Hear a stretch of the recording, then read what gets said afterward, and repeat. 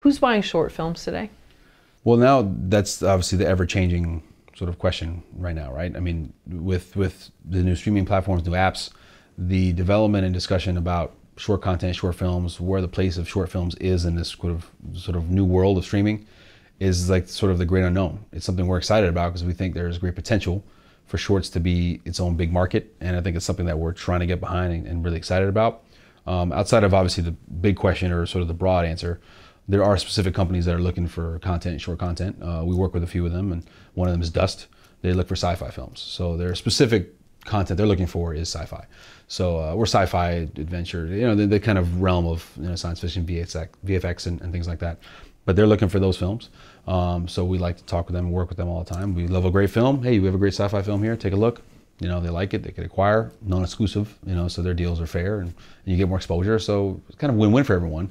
And they also have a company. I don't know if it's sister company or just their other streaming company is Alter, and Alter does horror films, so their focus is more horror thriller, and so they're they're both obviously genre based, but really cool areas of distribution opportunities for for filmmakers looking for that and getting exposure and actually getting acquired. Now again, in non-exclusive way, so they're not taking your film and taking the IP or really anything like that. So, you know, it's definitely an opportunity for filmmakers to get more exposure and have another place to to get distribution. Um, and of course, everyone knows Shorts TV. Shorts TV has been doing it a long time, so they're always acquiring shorts, and they're linear on, on DirecTV and AT&T and all that stuff, Uverse. So they're on television, and uh, so that's their area or angle, and they're always looking for shorts all the time. So they, but they've been doing it for a while. Um, but they're not in the streaming aspect. The streaming aspect you see in companies like The Dust and stuff, and then you have Crunchyroll does anime. So there's all these different sort of uh, at the moment apps that are focused apps or websites focused on direct direct markets, right? So anime, Crunchyroll, sci-fi, Dust, you know, things like that. Um, you know, there's the Crypt TV app. They do horror as well. So there's all these different uh, apps and websites that are focused on certain genres or styles of film that are looking to acquire shorts.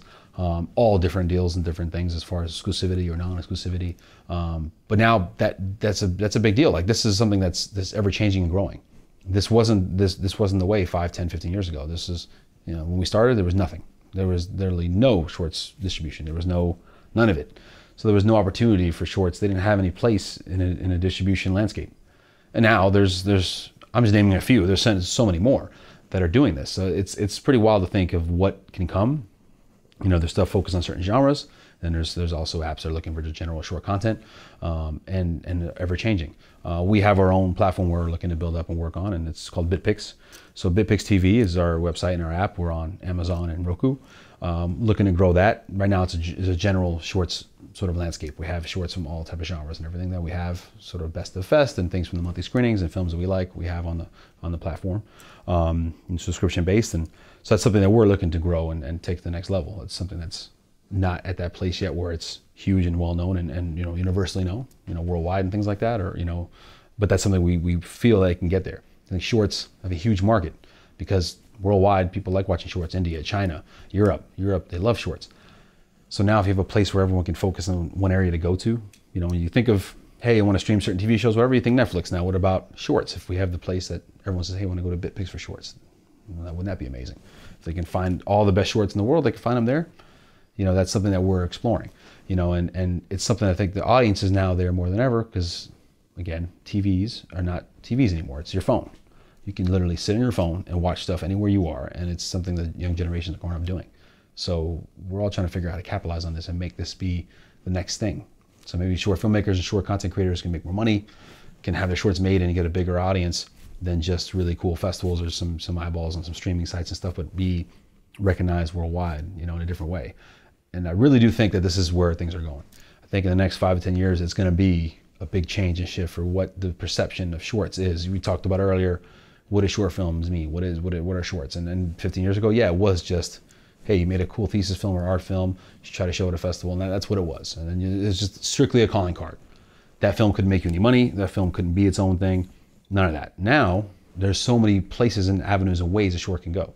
Whether it's distribution, whether it's it is a calling card, whether it's just a, a short to be a feature, whether it's TV series, whether it's you just make great shorts, and that's all you do is make awesome shorts, and that's what you do. You don't have to necessarily just be, hey, I made a short to go to be a, to, to, to go make a feature film or to showcase myself. No, you can make great shorts and tell short stories in a way that can be your calling card in that way, not like just to go on do something else. So this whole world with all these different apps and platforms that are looking for films.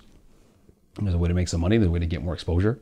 Um, it's just it's huge. I mean, it's it's it's definitely something that I mean, it's just changed the whole landscape of what we're doing, and that's why we've even seen more submissions. Not only the growth of the festival, but the fact that more people are making short films than ever before in the world. That's just that's just a fact. So it's really exciting. I mean, you have those platforms. There's Vimeo does their staff pick, so you have Vimeo staff pick for exposure, and they do that. Um, there's uh, Short of the Week and that, that website, and that, that, that, you know they do that. So Short of the Week is a place where they'll pick out their short and expose them and give you a sort of stamp of approval for your film. They do that, and that's really cool. So you have these different sites, and whether it's sites, whether it's apps, that they're looking for content. So now, and not only just them, AT&T is doing contests all the time, looking for content. You know, they've done promotions with us, and so AT&T is looking for stuff for their channels all the time for TV. They're looking for shorts, and they're doing contests for short filmmakers to give them prizes. Like it's just, it's sort of this new Wild West, new world. Like there's actually opportunities to not just showcase yourself and make money, and also get garnish more exposure than ever before, which is is really cool. I mean, to be a part of that is something we couldn't have foreseen back then, but now as we've positioned ourselves as a strong festival and things in, in the short space, we want to see how we can push this thing further and grow, you know, the online capability and the app capability and all the festival, all of it to grow to new heights and, and to just make short films the, the new sort of new premiere content. You know, I think there's a, there's a chance and I think that's pretty cool. And I think that's something that definitely, you know, next five to 10 years, we're going to see keep changing.